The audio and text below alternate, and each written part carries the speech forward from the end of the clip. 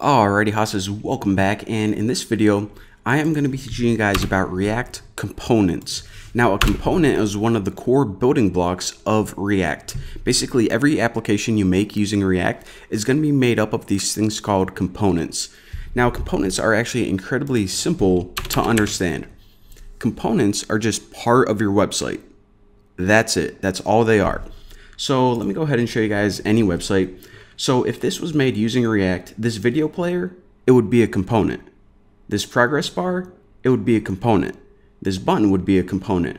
Now even complex things like this little text editor area at the bottom, this entire thing may be a component. Now that brings me to another point and that's you can actually put components together to make a bigger component.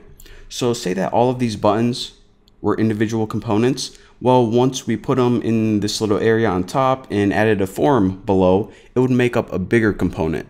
So just like you can put a bunch of parts of a car together to make an entire car, that's basically what a component is, part of your website. So that's why I say in React, your entire application is going to be made up of these components, just different parts of your web page. So, sounds pretty cool. How do we make a simple component? Well, the first thing you do is go ahead and make a variable. Now, just to show you guys that you can actually name these components anything you want, I'm just going to go ahead and name mine bacon. Now set this equal to react create class.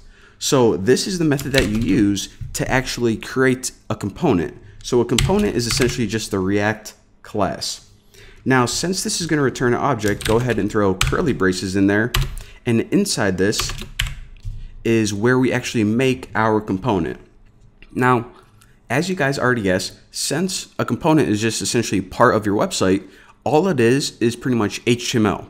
So we can just have a component that's just a heading. We can have a component that's an entire buddy list. But for right now, essentially what your component needs to do is it needs to return some HTML.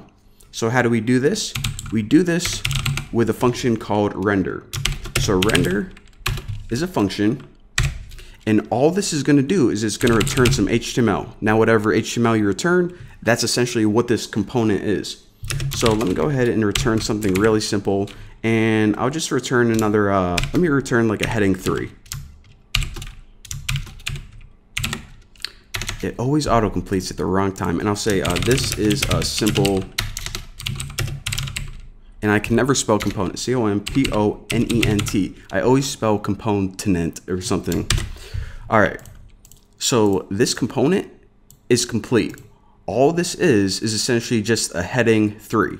Now again, eventually we can actually add uh, attributes to it or properties and states and have some more functions in here. But for right now, whenever we use the component bacon, it essentially just displays a heading three. So then once we have our component made, let me tighten this up a bit so it's a little bit easier to see. We actually have to say instead of this, which was the HTML we displayed before, we actually want to display our component. Now, remember I said that render basically takes a bit of HTML and displays it in your target.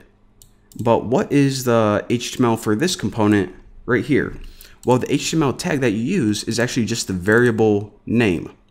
So if you go bacon, that's all you write. So whenever you see this tag bacon it's basically allowing you to create custom HTML tags.